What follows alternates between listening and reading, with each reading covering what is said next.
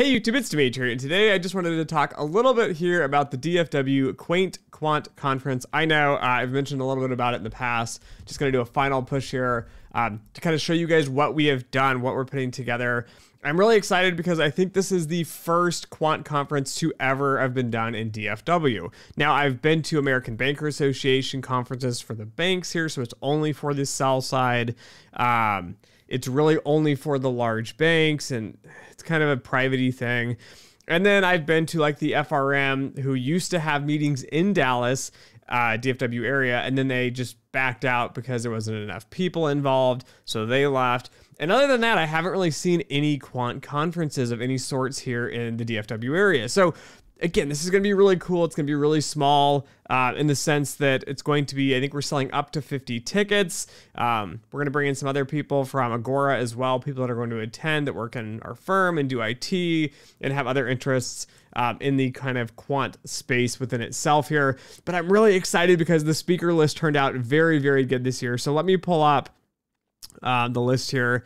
Um, we have uh, Shreyash, I apologize if I mispronounce that. I'm going to be presenting on asset level Monte Carlo aggregation engine.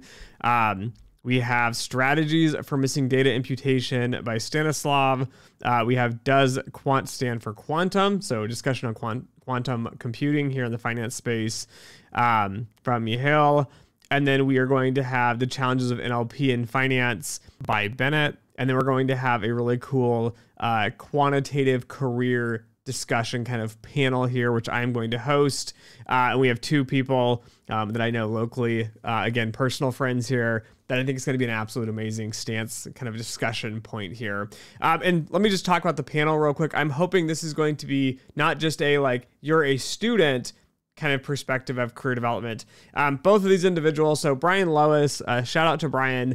Uh, I've known him for quite a few years now in the DFW area. Uh, interesting background. Worked for AT and T. Uh, worked for Capital One doing quantitative finance on like auto space, which is what I currently work and have worked in for the last seven, eight years here. Um, and then he's working now at Walmart, again, doing data science across the field here. So it's a really interesting career perspective. Uh, he's also teaching, I believe, as an adjunct professor at UTD uh, in statistics. So it's interesting to see how the careers kind of evolve, how you kind of come in and out of the finance space, um, how these skills can be applied across the spectrum here. Again, he's been doing this for many years. So understanding, I think, the career aspects of developing a career, looking at enjoyment of jobs, um, also looking at other factors that impact decisions on moving companies and developing skills. Uh, he'll be a great asset on that. Uh, the other panelist is going to be Fasika. Uh, he is currently the head of model development um, at Comerica Bank. So again, he's worked there much longer than I was there. So I just joined in 2014 and I had left.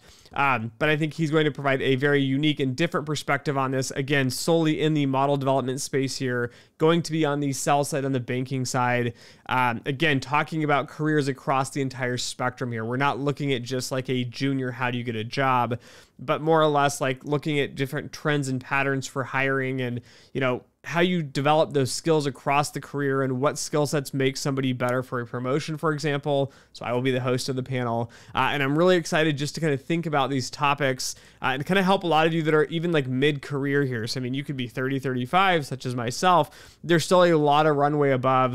Uh, and these individuals will be able to provide a great perspective on that here. Now, the other speakers that I just mentioned, as well, which I think is why this conference is going to be more unique than probably any other conference I've seen, uh, is going to be because these other individuals are working at firms, for example, um, on the buy side, the asset management side here, so the investing side. So, again, we're going to have um, for example, I'm really excited for the the quantum piece, as I mentioned, learning about quantum computers and where this could head.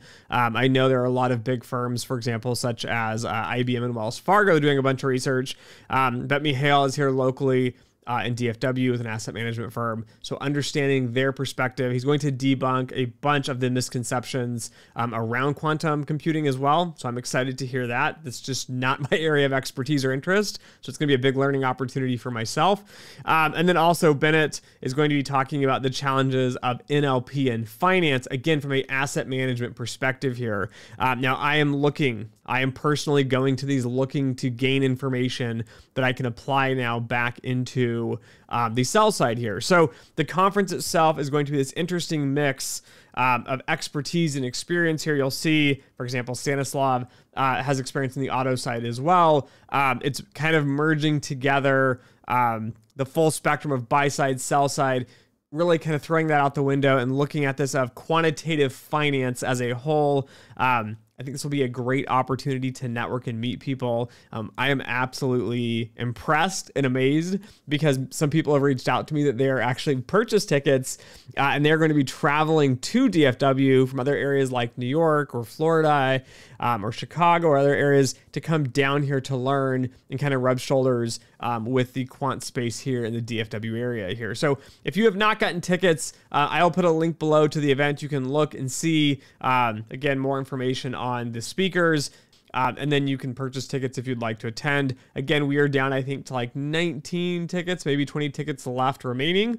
Um, but I'm really excited because it's going to be a fun time to meet other people and chat. And I'm sure I will be crazily busy running around talking to as many of you as possible uh, and making sure this whole event is getting pulled off. A huge, huge thank you here um, to Agora specifically. So, the company I work for, Agora Data, they are the ones hosting this. So they are doing all this crazy stuff on the back end with me on like marketing and making sure like food and lunches are going to be catered and brought in and timing and access to the building and all these things you don't think about when you plan a conference. Um, so a special thank you to Shelly. Um, she works in our marketing. She runs our marketing department. Uh, she has been absolutely amazing and on top of this. Uh, and a big thank you to Matt as well. Matt is my boss. Um, he's been the one that's been really pushing to get this conference kind of kicked off here. Uh, it was me kind of saying, well, maybe we should do a little bit of a meetup. Um, but Matt was like, no, let's make this a really fun and exciting event and let's add as much value as possible uh, into the quant finance space. So, anyways, I look forward to seeing you guys there. If you are attending, uh, if you are not attending, maybe we can catch you another year. Um, we even have speakers that wanted to present this year but had conflicts and they want to come next year. And of course, this is the first year. So I don't know if we're going to do it next year, but I'm really hoping we will. Um, again, tickets on sale now. Thanks for watching. Thanks for listening. And as always, until next time.